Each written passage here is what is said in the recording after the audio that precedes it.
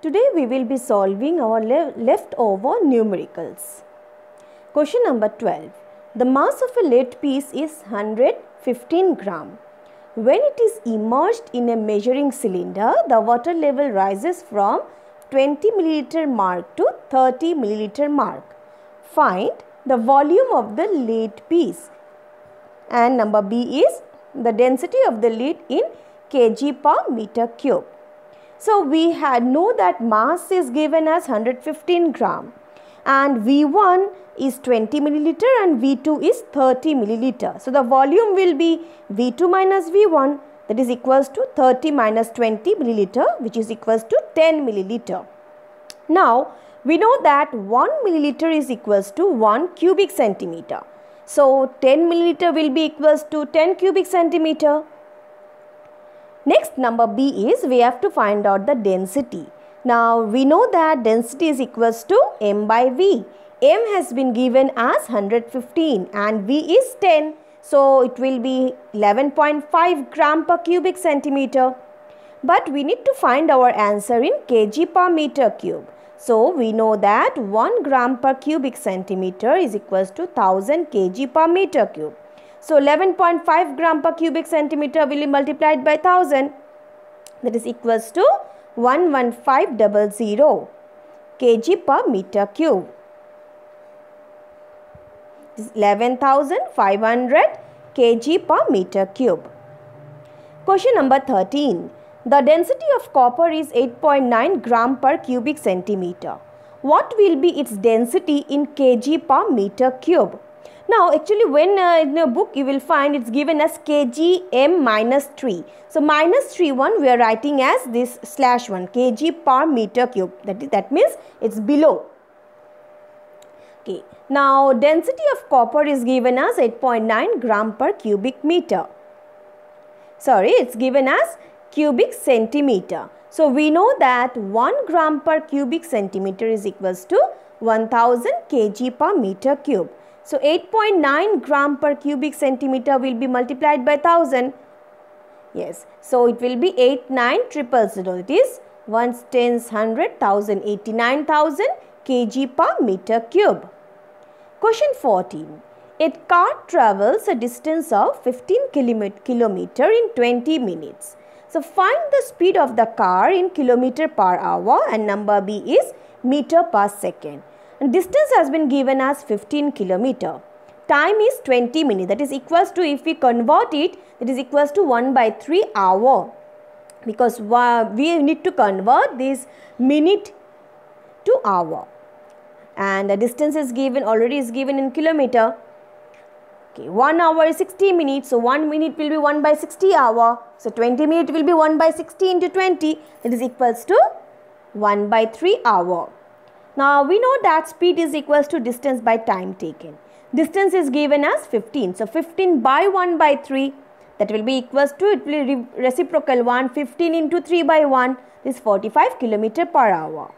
And number B is to find in meter per second. Now 1 meter per second is equals to 3.6 kilometer per hour. It's given in your book this one. So 1 kilometer per hour will be equals to 1 by 3.6 so 45 km per hour will be 1 by 3.6 into 45 which is equals to 12.5 meter per second. Question 15. How long a train will take to travel a distance of 200 km with a speed of 60 km per hour? Now distance has been given as 200 km. Speed is equals to 60 km per hour. We do not know the time. So we know that speed is equals to distance traveled by time taken. So time will be equals to d by s. It is 200 by 60. This is 3.33 hour. Question 16. A boy travels with the speed of 10 meter per second for 30 minutes. How much distance does he travel? So speed is given as 10 meter per second. Time is given as 30 minute. Distance we need to find out as we know that speed is equals to distance by time so distance will be equals to equals to speed into time that is 10 into okay now time 30 minute we need to convert it into second so when we'll convert this 30 minute to second this 1 minute equals to 60 second. So 30 minute will be 60 into 30. Yes, that, that will be 1800 second. So 10 into 1800 which will be equals to 18,000 meter.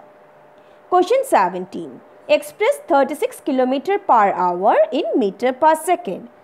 So 1 meter per second is equals to 3.6 kilometer per hour. So 3.6 kilometer per hour is, is equals to 1 meter per second. So 36 kilometer per hour will be 1 by 3.6 into 36 that is equals to 10 meter per second. Question 18. Express 15 meter per second into kilometer per hour. Now as 1 meter per second is equals to 3.6 kilometer per hour.